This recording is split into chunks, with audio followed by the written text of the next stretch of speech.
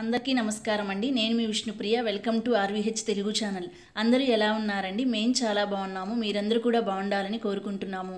గురు పౌర్ణమి సందర్భంగా నేను బాబాగారికి పూజ చేసుకున్నానండి. నేను ఎలా పూజ చేసుకున్నాను ఏంటి అనేది ఈ వీడియో ద్వారా మీతో షేర్ చేసుకోబోతున్నాను.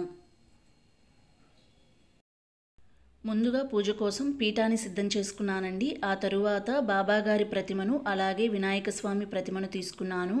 రెండు ప్రతిమలకు గంధము అలాగే కుంకుమ బొట్లతో అలంకరించుకున్నాను. ఆ తరువాత శనగలతో తయారు చేసుకున్న మాలను బాబాగారికి వేసుకున్నానండి. ముందు రోజు నైటే శనగలు నానబెట్టుకొని వాటిని మాలగా తయారు చేసుకున్నానండి. గురు పౌర్ణమి రోజున మనం ఇలా శనగలతో తయారు చేసుకున్న మాలను బాబాగారికి వేసుకుంటే చాలా మంచిది.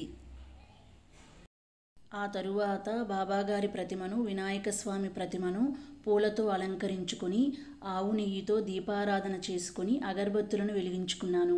ఆ తరువాత బాబాగారికి ఎంతో ప్రీతికరమైన ధూపాన్ని కూడా వెలిగించుకున్నాను. ఆ తరువాత బాబాగారి ప్రతిమపై పూరేకులను వేస్తూ బాబాగారి అష్టోత్తర శతనామావళి చదువుకున్నాను. ఈ గురు పౌర్ణమి రోజున మనకు చిన్నప్పుడు చదువు నేర్పించిన గురువులు అందుబాటులో ఉంటే మనకు వీలైనంత కానుకను కానీ బహుమతిని కానీ గురువుగారికి ఇచ్చుకొని వాళ్ళ పాదాలకు నమస్కరించుకొని వాళ్ళ ఆశీర్వాదం తీసుకుంటే చాలా మంచిదండి.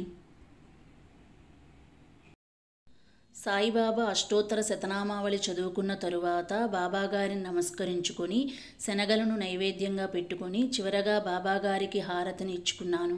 ఈ విధంగా గురు పౌర్ణమి రోజున బాబాగారికి పూజ చేసుకున్నాను. గురు పౌర్ణమి సందర్భంగా బాబావారికి నేను చేసుకున్న పూజను చూశారు కదండి. ఈరోజు వీడియోనైతే అయితే ఇక్కడితో ఎండ్ చేసేస్తున్నానని నెక్స్ట్ వీడియోతో నేను మిమ్మల్ని మళ్ళీ కలుస్తాను.